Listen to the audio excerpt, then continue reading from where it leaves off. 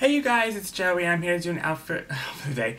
An episode review of Real House of New Jersey Season 9 from Turkey with Love, Episode 10. Um, I'm not doing it for the day, but I am going to show you my outfit for today. Um, I have on this sequin pink pant, jogging pants, as you can see, with um, silver sequin Uggs. So, yes. So from the top, it was just a plain gray, but, you know, I do have on a nice outfit today. Um, around. I don't know if you guys can see that. Okay. So yeah, from the top you think, oh well, you know, I'm not wearing a nice outfit because look, I just have a plain shirt on. But from like waist below, from the waist below, it is nice. Oh, this is tangled. Shit, everything is like tangled right now. Nothing's going right today. My hair's a mess. My lipstick today is Christmas Cookie by Jeffree Star with a colored gloss on top. Well, let me say that again because that was really fast. Christmas uh, Christmas Cookie by Jeffree Star's lipstick of the day with the colored gloss on top. And um, perfume of the day is Juicy Couture and then cream of the day I'm putting on to the Dolce Red Kiss right now. Okay, so this episode from Turkey with Love wasn't the best, but it wasn't like bad either. Like I don't know, it just was. It, it was the slow episode of the season. Which listen, not every episode is gonna be like balls to the wall crazy, but I mean like. You know, I'm I'm happy that there was an episode break where there was like not much drama. There was still interesting scenes, but it wasn't like anything crazy. Um. Okay. Girl. Oh, just gotta rub it in, girl. Sorry. All right, so let's let's do this episode review now. Uh, let's get into it. so, so the first scene I'm talking about is a scene with Frank and Dolores. They are going, um, they're flipping houses and they're doing a scene flipping a house or something. And Frankie, their son, comes in and he is so amazing. He is everything. He's so good. But anyways, he basically tells his father, like, you know, um, you need to treat my mother with more respect. And then the father goes, well, did you want for anything? I'm like, what does that have to do with? What does that have to do with cheating on his mother? He's telling you you need to respect her, and that's it. That's it doesn't matter what you what you gave them or what money you gave them or whatever. You need to respect the mother. All right. However, they're both lying clear as day because they're both probably fucking and, and they're probably but you know I don't even know he probably they're, they're probably like already remarried for all we know. Okay, so basically the next scene is Teresa and Jackie meet, and Jackie Jackie tells Teresa, I don't like the way you came at me. Oh, it was funny because when Teresa first comes in, Jackie gets up to hug her, and Teresa's like, hmm, I'm gonna get a smoke coffee. And then Jackie just sat back down. I thought that was funny. Anyways, so Jackie tells Teresa, I don't like the way you came at me at um, Marge's house when we did the mud mask. I didn't like that. And then Teresa goes, Well, you pissed me off. And then Jackie goes, well, you threatened me. You said I'm only here for five seconds. You want to make it to ten, like that was a threat. And Teresa's like, no, that wasn't a threat. I just was upset that you brought up my father, my my father, my children's father, because they're they're struggling right now. They're really going through it, and like, that's you know that's not nice what you said. Like that's not cool at all. That's really messed up. Um. Then Jackie tries to tiptoe around it like she did with with Jen's article, like, oh, I only tried, I only wrote it in good content. She tried to do it again this time. She goes, oh, well, you know, I said something complimentary about you. Like, I, I said you're so strong. Like, if a woman could control her husband, then it would be you. Jackie, stop. Stop. You're basically you could lie being a blonde at this point. Like like everyone sees what you said and did. It's on camera, so just don't lie about it. You know what you said. You know that's not the context you meant it in either. So she's trying to sugarcoat it. Um, then she tells Teresa, "Oh, you know, my father went away for six months, and you know, my mother had an ankle bracelet on. We used to laugh at it." I mean, that's not what you say to someone. It's not like you go, oh, you know, my my mother died and and then we just laughed at the funeral. But then her, Teresa's mother just died and that's just not funny. Do you get what I'm saying? Like it's like it's like you don't talk about something that's sensitive and be like, well, we just laughed at it. Like Teresa, like anyone else is gonna laugh at a situation like that. Like no one's gonna laugh at their mother having an ankle bracelet on. Do you get what I'm saying? but I don't know. She, at the end, Jackie did apologize and say, "Listen, if I offended you, I'm sorry. I will never bring that up again."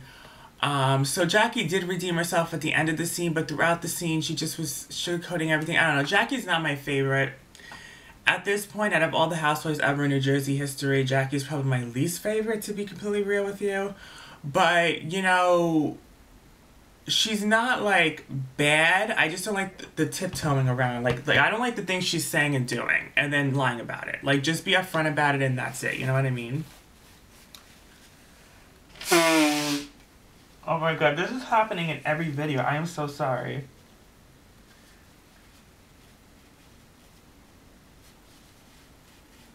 I'm sorry, guys. That's happening in every single video.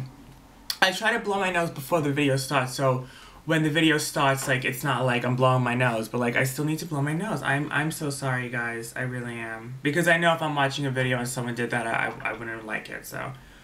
So anyways, Teresa goes, yeah, yeah. Teresa goes in the confessional. Well, you know what? Let's see how this little game is going to play out. I guess she's referring to after the vacation because we know a lot of shit happens on the vacation. Um, but that was what she said on her confessional. Okay, and then the next scene, Teresa meets with Frank and little Frank to work out because because Frank, um, Dolores' ex husband, um, or husband or whatever he is at this point, is tell is is coaching Teresa because Teresa's coach lives far away and she needs someone to coach her, and he's doing the job and um little Frankie's there because he's also entering the competition. Um, so, you know, he he was he was looking really good. And um, Teresa, Teresa, listen, I work out. I go to the gym now, and like I never go to the gym with makeup on. I just listen. You know, I love my makeup. I I wear makeup every video. Like makeup's my thing. But like I won't go to the gym with makeup on. I don't know why Teresa. Maybe because she's filming. But then again, like why are you going to the gym if you know it's gonna sweat off?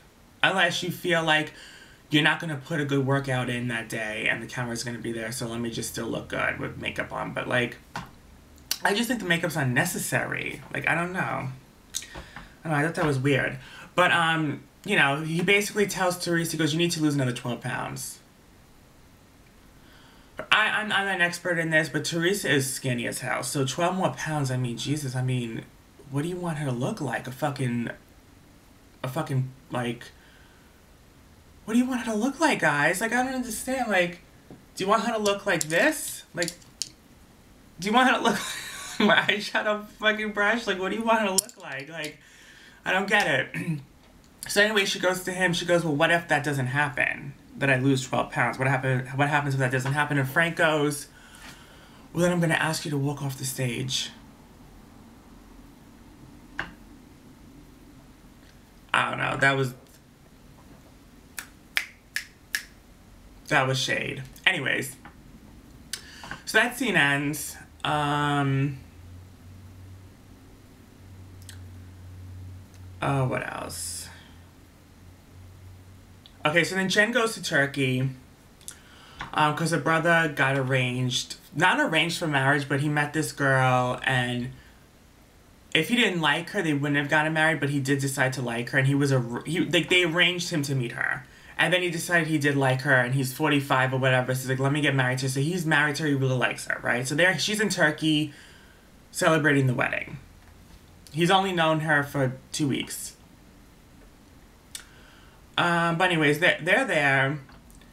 And then Joe, Melissa, Antonia, little Joey, and Gino, the whole five of them, go out to Sugar Factory in the city to celebrate Joey's birthday, the little youngest son. And the Sugar Factory they go to is the one I go to. I love that Sugar Factory. But anyways, Antonia basically goes, I want to be like mommy, I want to own my own boutique. And then Joe goes, well, then you're going to be living off scraps.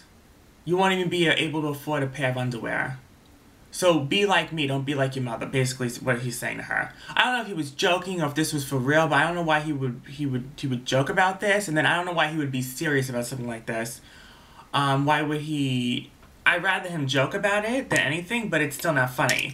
But I think he was being serious, and then Melissa's like, listen, I'm getting offended, and you know, I'm for Melissa. You know, I'm not always for Melissa. But this scene I am for Melissa, and this is when I lose Joe. I'm sorry. I like Joe, but I lose him when he says this shit like this. I'm sorry.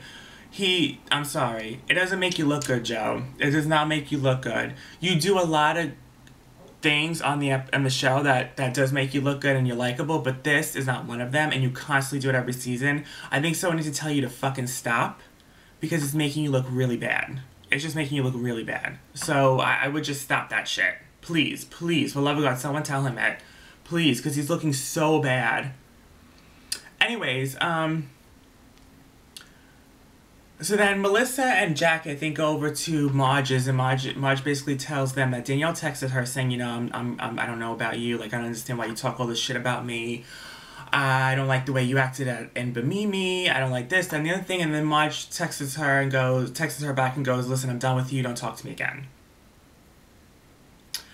So basically, they're beefing again. They're fighting again. Whatever it is, it is what it is. I don't think they're at this point ever gonna get along. Danielle did did um admit on Watch What Happens Live. By the way, she was on Watch What Happens Live with Lindsay Lohan. I was like, oh, that's a duo, right? Lindsay Lohan looked like she was. She didn't look good. I don't know. She just looked drawn out and, and worn out. And then the way she was acting, I don't know. She was just acting like. I don't know. She was just saying things off to, to I don't know. She just was. She just was not acting right.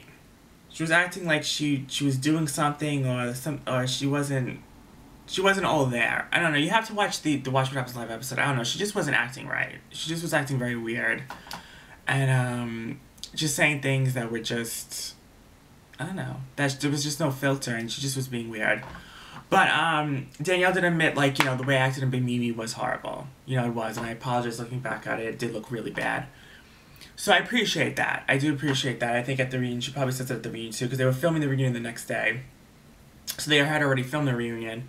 But, um, I don't know, like, I'm, I was for Danielle for saying, admitting to that, because it did look really bad. I mean, she was she was she was she you know she was overreacting and then you know Marge Marge really wasn't doing anything to Danielle so it was really fucked up what Danielle was doing you know um but anyways so that's passed Dolores is a charity for a family it's a very beautiful charity she does she raises this charity because they're it's this family that's homeless or they don't have money or something like that or they they don't eat or whatever so she just this they did this she did this charity for them that basically there was a bunch of food there was like to get your nails done and everything. There was this just whole big event that she did, which was amazing. Um, I feel like every season she does a really nice charity event. I think last season she did something for the animals. So Teresa came, Jackie came, Marge came, and I think Melissa came. Jen was still in Turkey. And Teresa tells Marge and everyone that, oh, you know, Jen's in Turkey right now, and, you know, she's celebrating her husband's wedding because he's getting married um, to this woman that he's only known for two weeks. But she wasn't saying it in a bad way. She just was saying, listen, she's he's only known her for two weeks and they're getting married. My my father only knew my mother for two months and they knew they were in love. And Marge goes, oh, that's too fast. It's because he's 45, so like, let's get it the fuck over with. He's, she's a mail order bride. He's on his last leg that's torturous to not know what what his sex what the sex is like before they get married. Now what happens if she's a dud the night of the wedding? I'm like, Marge, I'm like, what the fuck? I'm like, in your situation with Danielle, I'm for you, girl. But in this, I mean, ooh. I mean, the I don't know if you just have no filter and you're just talking fast and you weren't thinking before you were talking. But if you thought before you spoke, I think you wouldn't have said that because that was that was just that wasn't right. But then Teresa says in a confessional, she goes, "You know, I don't like what Marge is saying about Jen. You know, it's not cool. She shouldn't be talking like that." Um. So anyway, so then Teresa, the, the very last scene, Teresa has lunch with Dolores and Jen at her house, because Jen is finally back from Turkey, and um, Teresa basically tells Jen what what Marge spoke about her brother basically saying she's a mail bride and he's on his last leg and oh my god and the sex life is probably horrible because he doesn't know how she is in bed. Um and then Dolores goes, you know, Marge and the others probably don't understand the old school tradition of us I mean, listen, it's not like it's old school. Like I get, like that's her culture whatever. Do I, it's not that it's outdated. I just think that it, never should should have existed. I don't think it's right to arrange someone for marriage. Personally, for me, I'm sorry, Jen, I just don't. But um, Marge was was was just throwing insults that were just was too much. Like the last leg, and he's forty five, and oh my god, and she's a mellow bride. The whole thing, she just was being very rude.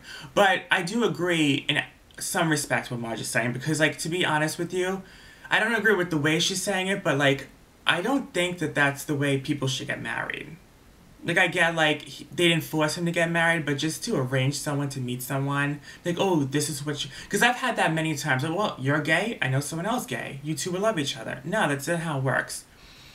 Listen, I think it should never have existed. I think that you should meet someone and that's it. I don't think you should arrange someone. You could arrange someone for a blind date or something, but just to arrange someone for marriage or whatever, I just think that that's way. I just think that should never have existed. I'm sorry, that's just I just think that's wrong. But um but that's their culture and it is what it is. I mean, no one can stop it. And that's just the way they were raised. Do I think that I would not do that if I was in that culture? No, I wouldn't. I would not do that. I would not be arranged for marriage or arranged someone. I wouldn't do that. That's just not me. I'm, I'm a free person and I will choose and I will see who I like. And that's just what it is. I also agree Marge to, to the aspect that I need to know how a guy is in bed before I, I marry them. Because she's right. What happens if you are into something a certain way in bed and they don't like it and then they don't please you enough and then the marriage doesn't work because of that? You know, sex is a very important thing in a marriage. If it's not important to you, then for, by all means get married before you have sex, whatever. But for me, I need to know what he's working with, if you know what I mean. But um listen, whatever, it is what it is. So, um, but then Jen goes, which she is right about this, because Marge has a lot to say about arranged marriages, but she cheated while she was married. So she really shouldn't be talking about ma- marriages. And Jen definitely brings this up, which I don't blame her. She goes, listen, she's so liberal. She's so proud of her cheating scandal. If I was a part of that, I would not be proud of that. Oh my God, I don't know why she's proud of something like this. So yeah, um, listen, I have four Jen. You basically hit Jen below the belt, so Jen's gonna hit you below, below the belt. So you have to respect it, Marge, at this point. If you're talking about her brother being married and stuff like that, she's gonna talk about you being cheating. I mean, it's a tit for tat. You know, two wrongs don't make a right, but you said something, so she's gonna say something about you. And that's just how it is. You know what I mean? Like, I would do the same thing. I'm like, you're not gonna talk about me and my family when you're cheating on your husband when you cheated on your husband, you're cheating on your current husband when you cheat on your past husband. So yeah, so but that was basically the end of the episode. Uh, the next episode, what happens in the next episode? Oh, a lot happens in the next episode. Oh my god, they go to a wine tasting event, a wine, wine country, and a lot of drama happens. Drama happens with Danielle and Marge, drama happens with Marge and Jen, and then drama happens with Jackie and, and, and fucking Jen. So there's a lot of shit that goes down next episode. So that's going to be a very long episode review, so stay tuned for that one. Um, but that's the end of this episode. It was good. It wasn't like, oh my god, but it was still really good. Okay, so I'm going to film. I don't know if I'm going to do it now. I'm going to do it after. I have a date today. So I don't know if I'm going to. I know it's not arranged. I'm just kidding. Um, but yeah, I have a date tonight. But after the date, I'm probably going to film my Bath and Body Works, what I'm going to be using up in hand soaps, candles, and PocketBacs for the year. So that's what I'm going to film tonight. Later on tonight so this episode review will be up tonight, and that episode, and that episode, and then the video with me talking about the candles and hand soaps I'm to use up for the year is going to be up tomorrow. I love you guys. I hope you guys enjoyed. Um, if this guy, because he still hasn't hit me back yet. Oh, I'm halfway there. Oh my god. Oh shit, I have to get back to this guy because I told him, listen, I want to meet up with him a little later because I'm, I was running late. I'm gonna say no, I'm coming. Um,